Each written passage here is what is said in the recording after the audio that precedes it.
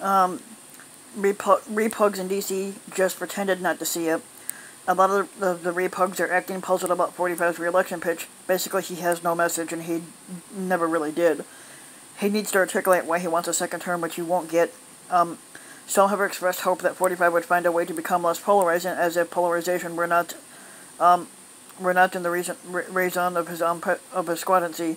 It's hard to know if repugs like this are truly naive or if they're just pretending so they don't have to admit what a foul enterprise they've become a part of.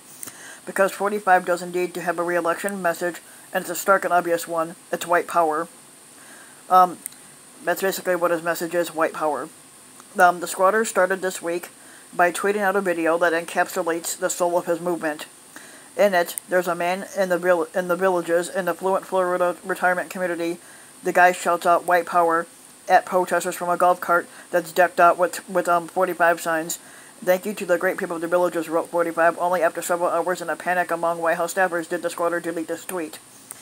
His spokes his spokesman claimed he hadn't heard his supporters' extremely clear words, and that is bullshit because if you listen to the video, about eight seconds in, the guy shouts it, and you hear another guy repeat it. Um, so there's no way in hell that 45 could not have fucking heard that. Um, but the guy, but 45 never, naturally never disavowed them. And why would he? Repugs might act as if they don't know why why 45's fans are so unfailingly loyal, some commentators spent the first year or two of his squadancy dancing around the reason he was elected, spending so much time probing the economic anxiety of his base that the phrase came to stand for a type of willful political blindness. But 45 understands that he became a significant po political figure by spreading the racist lie that Barack Obama was really born in Kenya, not Hawaii. He launched his history um, his history-making squatteral bid with the speech calling Mexican immigrants rapists and, and adopted a slogan, American First, which, which is previously associated with the raging anti-Semitic Charles Lindbergh. Throughout the 2016 campaign, he won the invaluable prize of, of, of earned media with the escalating racist provocations which his supporters relished and which captivated the cable news. People voted for, for 45 for reasons besides his racism. There was also sexism, too. Some voters were just part, some voters were just partisan repugs, or thought that the reality TV is real and that 45 was successful as the apprentice made him, made him seem which he wasn't. I once met a young man at a 45 rally who voted for Obama but was worried about the taxes he he had paid when he um taxes he'd pay when he inherited his family's car dealership.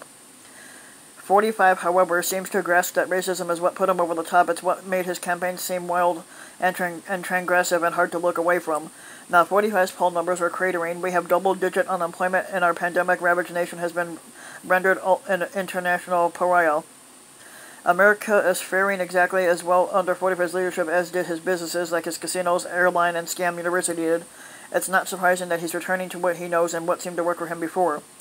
In fact, 45 appears to think his problem is that uh, um, appears to think that his problem is that he isn't racist enough.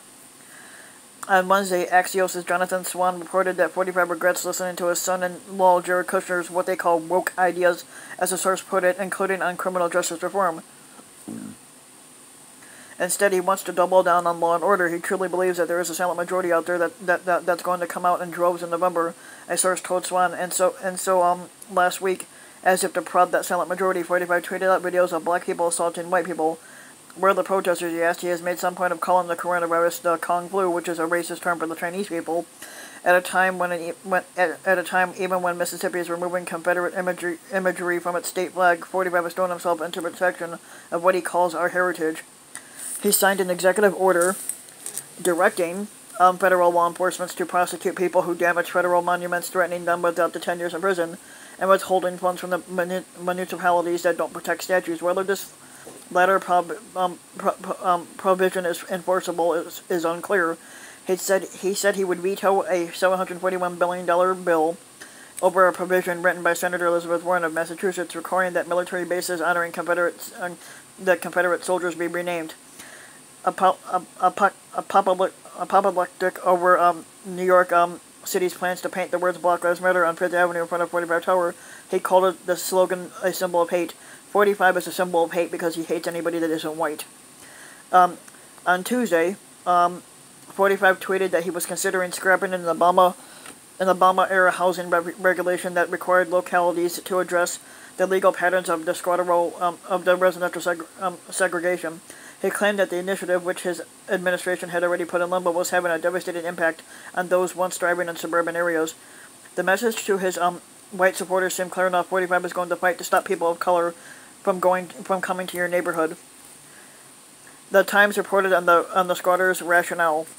45 and his campaign team already concerned about his weakness in battleground states have become increasingly alarmed by the international polling, showing a softening of support among suburban voters. 45 sees clearly, and more and more clearly than than most of his parties, that the that the racism is the main thing he has to offer. Um, um, there's good reason to think that he's misjudging these suburban vo voters. Polls show that a growing number of them, particularly women, are repelled by 45's race baiting and divisiveness, but rep repugs who complain that the squatter is undisciplined is that he can't adhere to a strategy and miss the point. Bigotry has always been the, has, has always been his strategy. The the repugs who support him are yoked to that strategy. The real frustration isn't that it's ugly, but it's that it's no longer working.